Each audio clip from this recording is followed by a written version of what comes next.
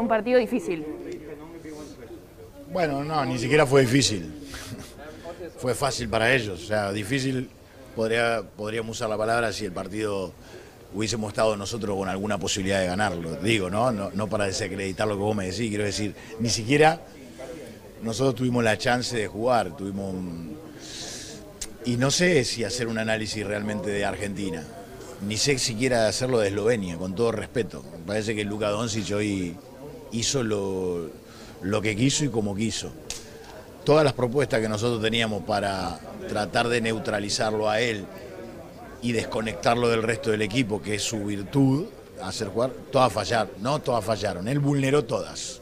Cuando le ofrecimos el tiro, lo tomó y lo metió. Cuando le ofrecimos el pase, asistió. Cuando lo forzamos a ir para adentro, fue para adentro y anotó. Termina con 48 puntos, como podría haber terminado con 60 si él quería seguir tomando decisiones propias.